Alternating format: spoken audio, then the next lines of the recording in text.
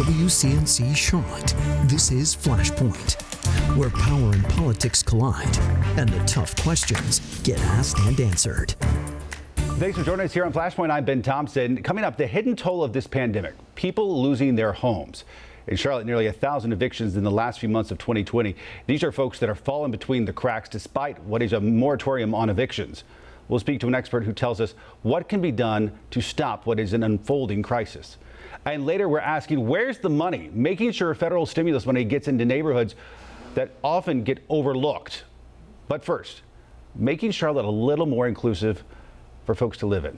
It could soon join several cities and towns across North Carolina taking steps in the last few weeks to protect the LGBTQ citizens. Why the sudden move? HB2.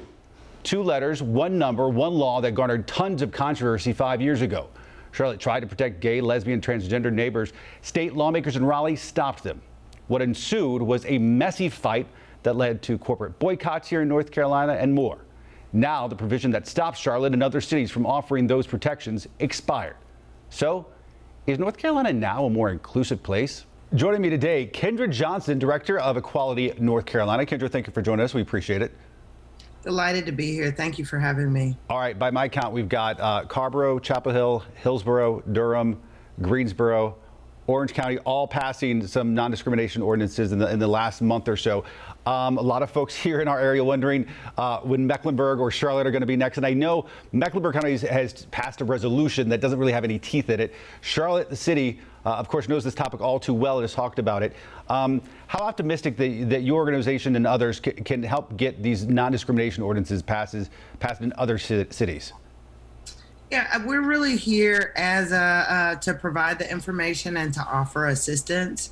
It's up to the cities uh, and the elected officials and the residents of those towns to take the measures that uh, they feel are appropriate to protect um, multiple classes, including LGBTQ folks.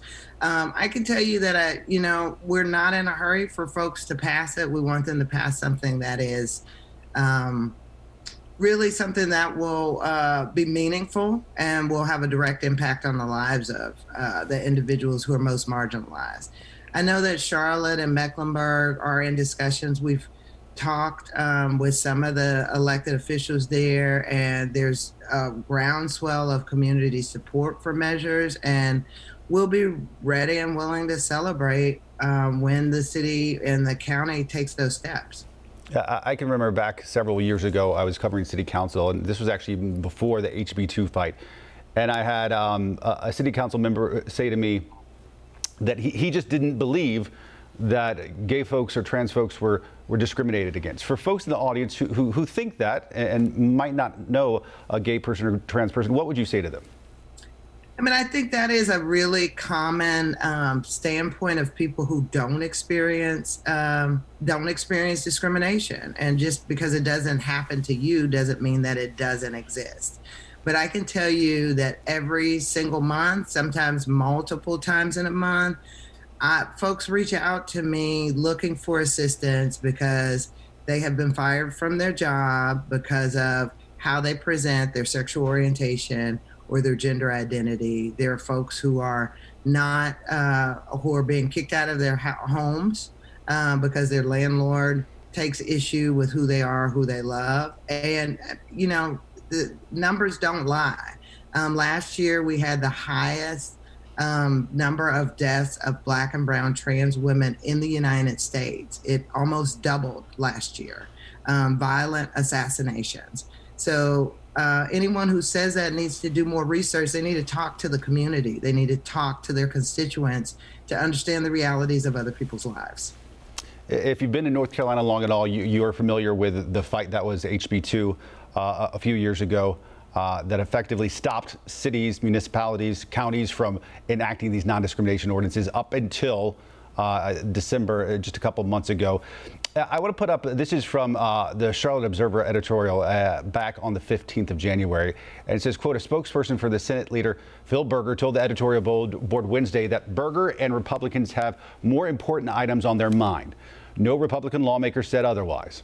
A chapter in North Carolina history has ended. This is what progress looks like sometimes, not a splashy legislative vote or a, a landmark court decision, but a, a quiet, quiet acknowledgement that things are at least a little different now. Are you, are you getting a lot of pushback when it comes to these uh, non-discrimination ordinances, or, or do you feel like this state of North Carolina has just moved beyond this as being an issue? Yeah, I think um, we there's always pushback. There's always opposition, which is exactly why we need these measures. If you've been at any of the um, at any of the city or town council meetings when these ordinances have passed, uh, we've had a flood of people um, protesting, and it's been horrific uh, lies about the LGBTQ plus community. I think uh, I hope North Carolina has moved on. Um, and you know, you said uh, if we were here in North Carolina. In reality, I wasn't in North Carolina. I'm from Arkansas originally. This was this was an embarrassment for North Carolina, not only nationally but internationally. And I would hope um, that in the midst of a pandemic, a raging pandemic, when we have so many issues um, that the whole community is facing, that this wouldn't be the priority for the NCGA to prevent cities from protecting their citizens from discrimination. What about legal challenges? Uh, you, you, expect anything from the North Carolina Values Coalition or any other groups?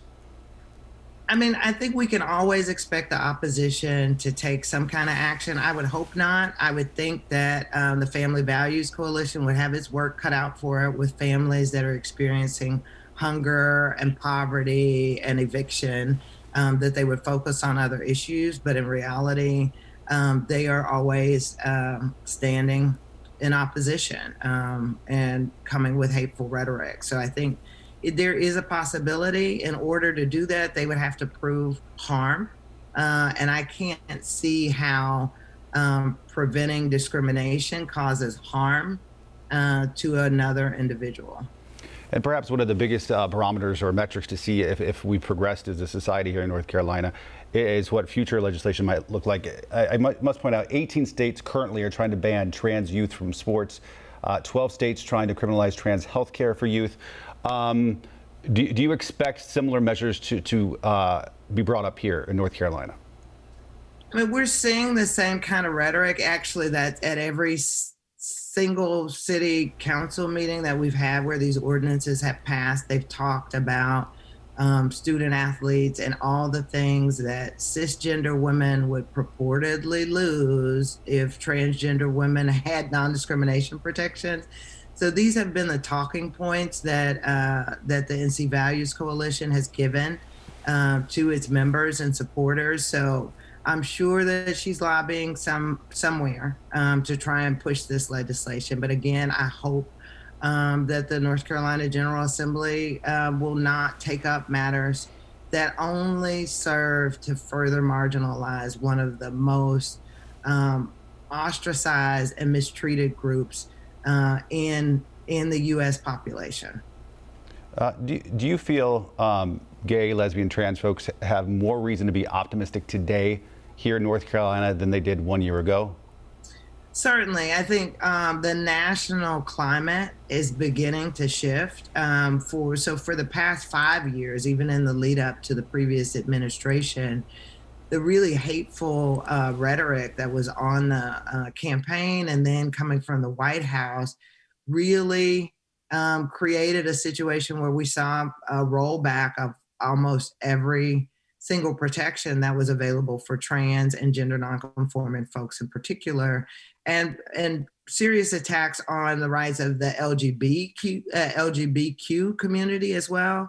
So I think just having um, an affirming person in the White House who who considers us human and with basic human rights in the country is already a marked improvement uh, for our lives. We still have a lot of work to do um, in order to build out these protections on the local level, the state level, and the federal level. But we have an opportunity to do so um, in this current climate. Thank goodness. All right. Kendra Johnson, Director of Equality North Carolina. Kendra, thank you for coming on and talking to us. We appreciate it. Thank you for having me. I appreciate it. Always happy to talk about equality. You have Perfect. a great day. All right, Kendra, thanks.